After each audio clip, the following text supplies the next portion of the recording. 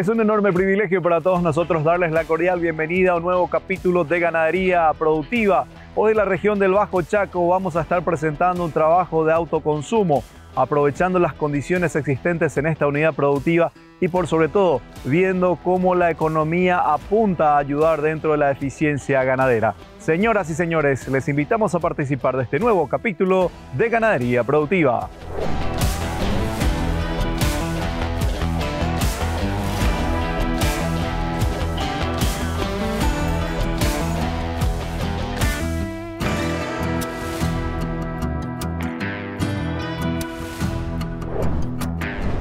Al abrir esta primera parte de ganadería productiva vamos a hablar de las condiciones corporales que han tenido los animales que provienen de regiones difíciles ante una extrema sequía. Hoy se presenta la alternativa y la estrategia de poder ganar kilos de carne utilizando el sistema de autoconsumo.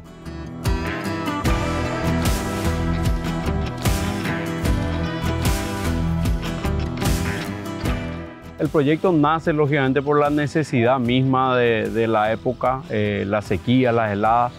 Eh, el cliente tiene, tiene su establecimiento ganadero al Chaco Norte con una deficiencia forrajera importante. Entonces es ahí que decidimos armar el proyecto. ¿verdad? Teníamos la, la oferta del silaje de maíz acá en una empresa en el Bajo Chaco que está produciendo, haciendo cultivos agrícolas produciendo todo tipo de cereales y, productos agrícolas. Bueno, hicimos un trato con ellos, conseguimos ensilar el maíz que estaban produciendo. Una vez que estaba embolsado el maíz, cuestión de 10 días que armamos la estructura muy básica, prácticamente un alambrado perimetral reforzado con un hilo eléctrico y como estábamos contra el reloj por la necesidad, como te digo, en 10 días teníamos el lugar armado.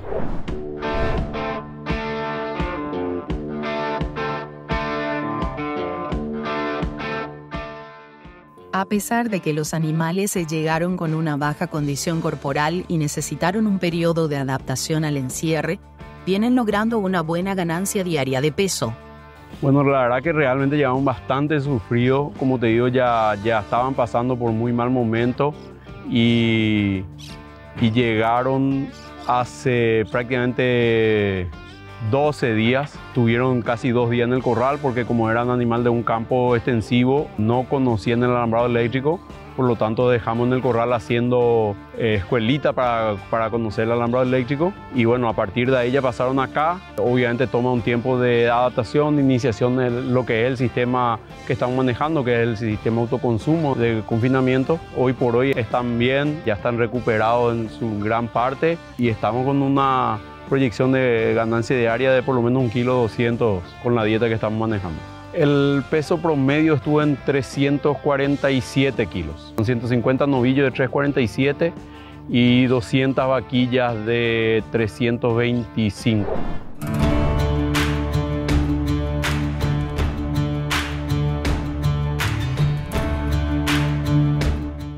El manejo del confinamiento es altamente exigente sin embargo, por medio de la capacitación, es posible obtener resultados auspiciosos con la mínima inversión.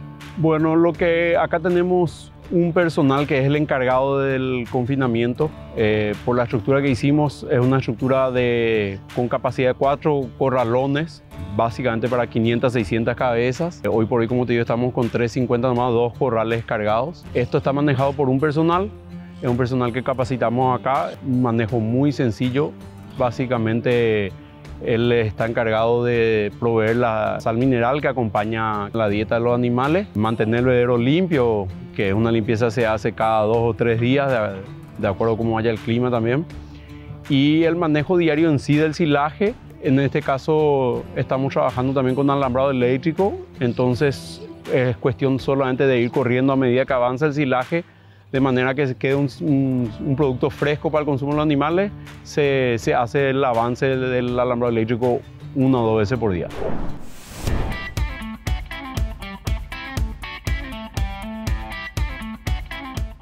El objetivo de la dieta planteada en esta unidad de producción es lograr buenas ganancias de peso para apuntar a un margen importante de rentabilidad. La dieta de ellos, en verdad, como te digo, vienen de, eh, pasturas extensivas y, si bien son extensivas eran gatos pero ya de baja producción forrajera en esta época. Al entrar acá entraron exclusivamente con el silaje de maíz, que es un silaje muy alto grano, de muy buena calidad y acompañado de una sal mineral aditivada y ureada, con monensina y con urea. Básicamente en los programas de formulación nos indica que la dieta está sobrecargada en energía y un poco apretada en proteína, pero estimamos o está simulada una ganancia de más o menos un kilo 200, un kilo 300 para esta categoría de macho entero jóvenes y vaquilla. Básicamente la dieta tratamos de mantener lo más sencillo posible, así como dijimos, todo era con la idea de hacer rápido, práctico, fácil y sobre todo económico. Entonces exclusivamente eh, cumplimos con los requerimientos minerales al 100% y con gran parte de todos los requerimientos nutricionales en cuanto al silaje y el, el aporte de proteína de la sal.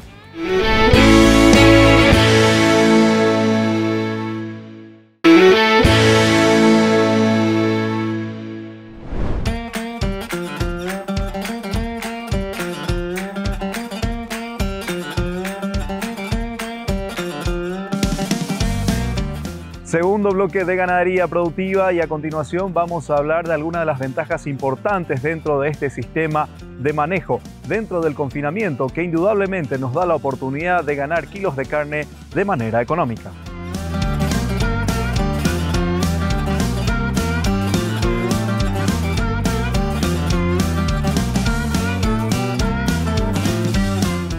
optamos por el eléctrico después de bastante años de trabajar con la jaula por el hecho, primero más que nada la inversión en jaula. Eh, como hablamos, muchas veces estos tipos de sistemas son, a veces son estables y a veces son momentáneos, entonces el cliente busca no hacer una gran inversión, una estructura muy importante. Eso nos permite el eléctrico evitar usar la jaula, hacer la inversión en jaula.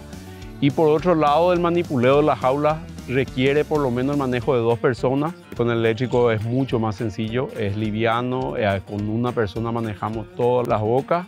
Y por último, pero no menos importante, es el desperdicio. Notamos una importante reducción en el desperdicio del, silaje. Eh, es un consumo mucho más controlado.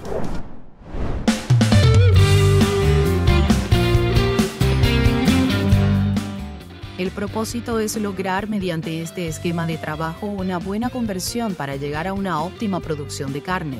Sin embargo, dependiendo de la condición del mercado, también existe la oportunidad de preñar las hembras y venderlas como vientres. En el caso de los machos, lógicamente la idea es producción de, carne, digamos, con destino frigorífico.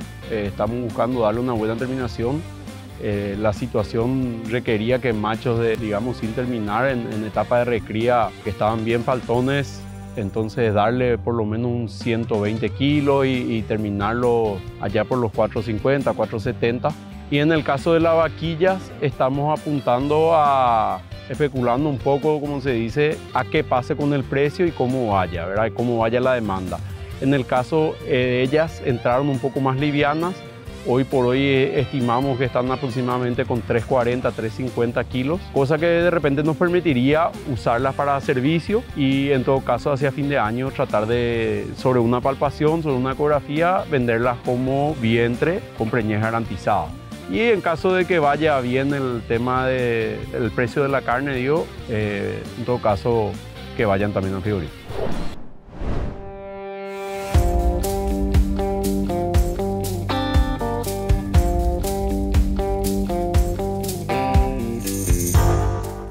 El establecimiento de esta estrategia que se caracteriza por el bajo nivel de inversión, el propósito es obtener un menor costo de producción y en consecuencia un punto de equilibrio eficiente. La decisión de hacer esto, aparte de, la economía en el sentido del costo de estructura, considerablemente más bajo. Eh, no tengo de, mente para hacerte la comparación directa, pero es considerablemente más bajo de lo que es la estructura de un confinamiento. En este caso, sobre todo siendo de que fue un proyecto básicamente improvisado, se puede armar en cualquier lado. Hoy por hoy estamos en el medio del campo y ahí mismo se monta, no hay mucho trabajo de suelo, no hay mucho movimiento de maquinaria y mismo el manejo día a día, lo cual sí, haciendo digamos, un promedio general de lo que sería una experiencia en feedlot tal cual propiamente dicho. Por lo general se maneja una, una diaria de 18 mil guaraníes, 20 mil, inclusive un poco más, puede ser un poco menos. Pero hoy acá estamos trabajando, como decís, con, apuntando a producir un kilo 200 y, y una diaria prácticamente de 6.000, 6.500 guaraníes por día. O sea, casi 70% menos de lo que sería un confinamiento.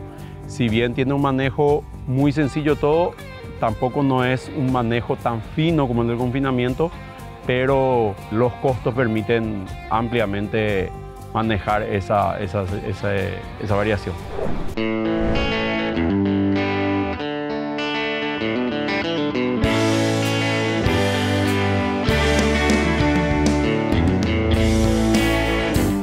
Si bien este plan tiene como principal objetivo desarrollar un sistema de producción de carne a bajo costo, los días en confinamiento serán mayores, considerando que la ganancia diaria de peso es de 1.2 kilogramos al día. Si comparamos contra un confinamiento que por lo general maneja un kilo y medio o un poquito, un kilo 700, generalmente un confinamiento bien trabajado tiene esas ganancias. Acá estamos hablando de un kilo 200, serían más o menos 30 kilos en 100 días, que es generalmente lo que, lo que nos diferencia, ¿verdad? El proceso de determinación del confinamiento. Acá apuntamos a 120 días, calculamos que los animales estarían en peso de determinación. Si bien, como decía, el, el tiempo un poquito más largo, el costo operativo es considerablemente menor.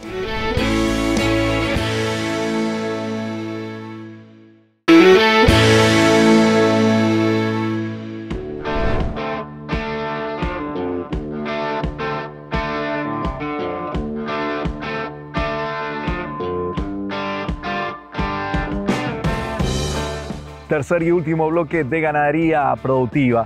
Y dentro de esta unidad de producción el próximo paso es establecer un proceso de sistematización de datos apuntando a una mayor eficiencia.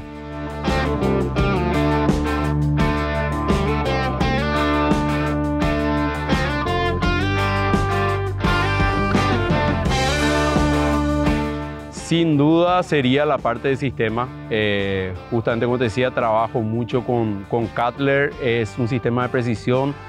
Hace, hace rendir muy bien los números. Te crea una base de datos muy importante. Cosa que sí, definitivamente acá escatima. Creo que el sistema de autoconsumo es un sistema muy noble, como ya estamos hablando de su principal bondad, que es la, la economía, que al final de cuentas es un negocio lo que, lo que el productor hace y busca, busca rentabilizar estos sistemas intensivos. Entonces creo que con un software de acompañamiento eso va a ayudar a, concretar una producción mucho más eficiente, ya que este sistema incluso lo estamos haciendo incluso con animales de destete precoz. Son terneros que ingresan con 80 kilos, entonces todo eso requiere una atención muy fina y sin dudas creo que un sistema sería, sería algo que, que ayudaría mucho en eso.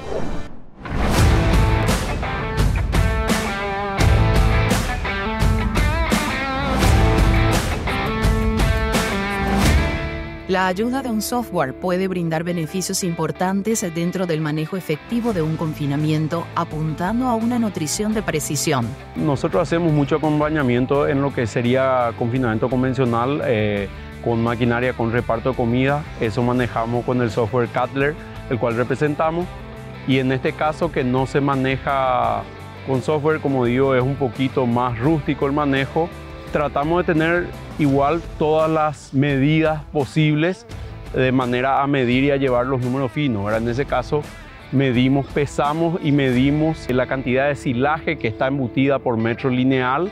Eso hacemos, transportamos a lo que sería el consumo. También consideramos la materia seca para saber que estamos llevando todo en cuanto a consumo. Todo va en base a un objetivo, ¿verdad? Siempre buscamos, como desde DEA, buscamos satisfacer el objetivo, la meta del cliente, del productor, en muchos casos, si la meta es avanzar rápido, eh, sacrificando un poco de costo, bueno, es posible eh, agregar mayor cantidad de suplementos. Y en otros casos, como en este momento que mucha gente prefiere especular a ver el precio del gordo, el precio del ganado en general, y bueno, vamos en un punto medio, un punto de equilibrio donde tenemos una dieta barata, económica, para una buena ganancia y, y, con una suplementación mínima tratando de eh, sobrepasar la situación.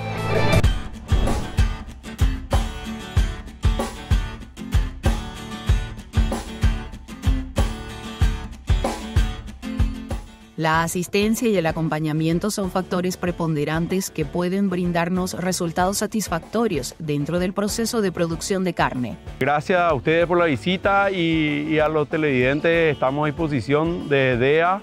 Eh, dejamos los contactos y, para acompañar a todo tipo de productor ganadero, sobre todo en producción en corrales, en feedlot y todo el manejo nutricional de animales invernadas. Estamos a las órdenes y gracias por, por el acompañamiento.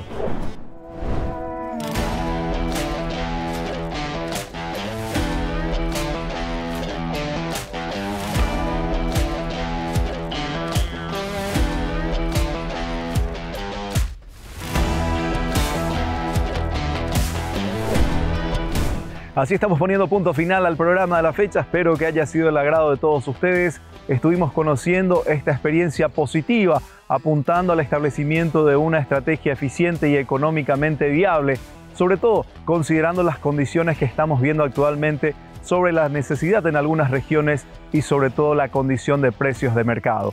Muchas gracias a las empresas que nos ayudan a llevar adelante esta propuesta periodística. Nos reencontraremos la próxima semana en un nuevo capítulo de Ganadería Productiva. Que el Todopoderoso les dé salud, bendiciones, trabajo, prosperidad y no se olviden mis amigos que en sus vidas alguna vez necesitarán de algún médico, de algún abogado, pero de un productor necesitamos tres veces al día. Será hasta la próxima. Permiso.